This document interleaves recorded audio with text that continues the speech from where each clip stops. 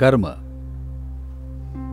हे सहसा चार भागात विभागलं जातं एक म्हणजे प्रारब्ध कर्म दुसरं म्हणजे संचित कर्म సంచి అంటే ఏం తెలుసా సంచి గన్నీ శాక్ तर अ, प्रारब्ध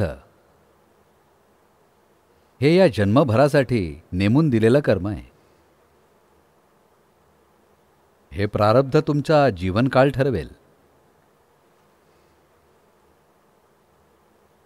जर मी तुमचं प्रारब्ध संपवून टाकलं आजच तर उद्या सकाळी तुमचा मृत्यू होऊ शकतो. तुम्ही पूर्णपणे ठणठणीत असू शकता पण उद्या सकाळी तुम्ही मरू शकता कारण तुमचं सॉफ्टवेअर निघून गेलं आहे तिथे काहीच आधार नाही आहे या शरीरासाठी. अचानक तुम्ही स्तब्ध व्हाल. काही काळासाठी अगदी सुंदर अवस्था. आणि पुफ म्हणून आम्ही कधीच प्रारब्धाला हात लावत नाही. आम्ही संचिताला स्पर्श करतो कर्माचा एक कोठार आहे. जे या जीवनात अजिबात समोर येत नाही. ते या जीवनात अजिबात समोर येत नाही. ते याबद्दल नाहीच आहे पण ते तुम्हाला जगण्यासाठी आधार देतं. तर जर आपण संचित संपवून टाकलं ते एक मोठं कोठार आहे. ते इतकं सोपं सोपं नाही आहे ते अतिशय अवघड आहे. जर हे संपायला लागलं तर तुम्हाला वाटेल की जीवनात काहीच बदललेलं नाही आहे पण ते थोडंसं पारदर्शिक झालं आहे तुमच्या अस्तित्वाचा घट्टपणा कमी झाला आहे पण तुमच्यात काहीच बदल झाला नाहीये. सगळं आधीसारखंच आहे. तुम्ही आधीसारखेच आहात. तुम्हाला आश्चर्य वाटतं हे काय होतंय? ही खरंच आध्यात्मिक प्रक्रिया आहे का? की हे सगळं एक स्वप्न आहे. तुम्ही अजूनही तसेच आहात. तुमच्या समस्या सुद्धा तशाच आहेत. तुमचं सगळं आधीसारखंच आहे. पण शरीरात थोडी पारदर्शकतेची भावना आहे. शरीराला थोडं जणू त्यामध्ये काही छिद्र आहे तसं वाटतं. तुम्हाला एखाद्या चाळणीसारखं वाटायला लागतं. एखाद्या भरीव गोष्टीसारखं नाही. त्याला थोडा वेळ लागू शकतो कारण हे मोठं कोठार आहे. मी तुम्हाला का सांगतोय? कारण जेव्हा तुम्ही आध्यात्मिक साधना करता तुम्ही परिणामाची अपेक्षा करता आणि तुमच्यातले बरेच जण परिणाम तयार करण्याचा प्रयत्न करताय. कधीच परिणाम तयार करण्याचा प्रयत्न करू नका.